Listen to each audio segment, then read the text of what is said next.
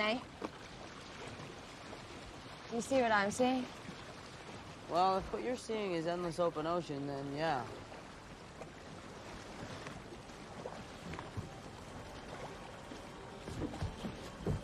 Holy shit.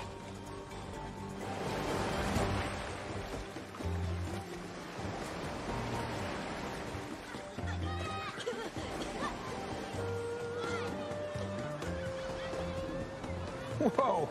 What the hell happened to you two? Fell out of a car that fell out of a plane? Huh. Hey, you know, something like that happened to me once. Okay. Good luck. And here is your card back, Mr. Sullivan. Please, call me Victor.